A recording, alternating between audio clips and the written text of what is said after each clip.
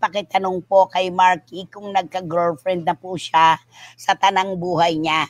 At ano po talaga ang naging, eto ah, ah, girlfriend na po siya sa tanang buhay niya. At ano po talaga ang naging relasyon niya kay anak ito, babanggitin ko lang to dahil ipinatatanong naman at alam kong kayang-kaya mo tong sagutin.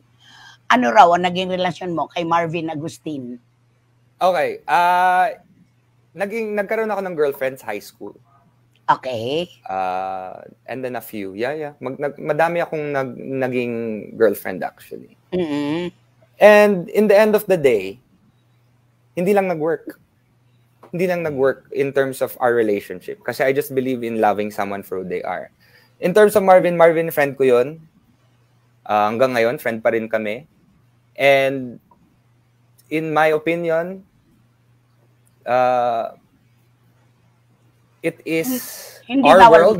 kaibigan kahit kanino. Yeah, we can be we can be friends with whoever we want to be. And minsan we're good friends, minsan hindi masyadong good friends, minsan nag hindi na kami okay, minsan okay pa kami in terms of relationships with different people. And in my opinion,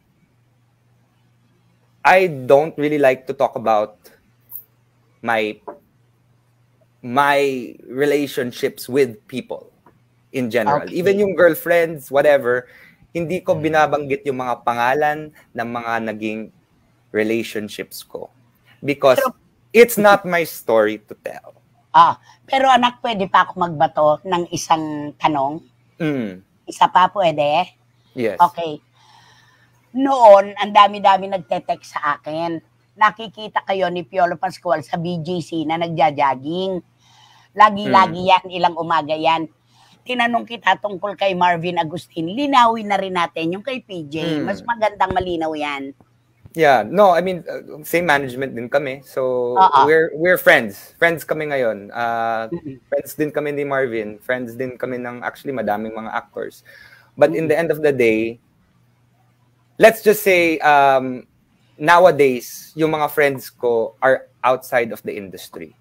Okay. Hindi ako nakikipagkaibigan sa mga medyo ano medyo Toxic para medyo sa'yo. toxic minsan toxic for me para ma- magkaroon ng mga actually may mga friends din ako pero hi hello lang I mean Mm-mm. nakita ko si Moira sa Cornerstone Christmas Party hinag ko siya hinag ko din si Catriona friends ko sila pero hindi kami sobrang close like katulad Ah. dati na lahat ng buhay ko is in the industry lang Totoo yan. Ah, ito para sa lahat ng mga tao.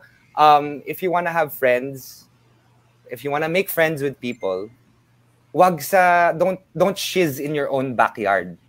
True. Alam mo, yes. Ang dami-daming marites, mga Yes. trolls, Wag- at wag saka ka- wag mga best friend sa ano, best friend mga ano mga best friends sa ano natin sa industriya natin or for example finance guy ka, wag ka magkaroon ng friends doon sa sa Same field na building. 'yon. Ah, ah, Same ah, ah, building kasi ah, malalaman nila at magkukwento-kwento sila. And si, minsan, you just want to have a private life. Oo. In At terms of your saka, personal life. And di, di lang sa ano, di, di lang sa friendships, sa relationships, sa everything, sa lahat ng mga human interaction. It's better to find people outside of your circle Tama. to be friends unang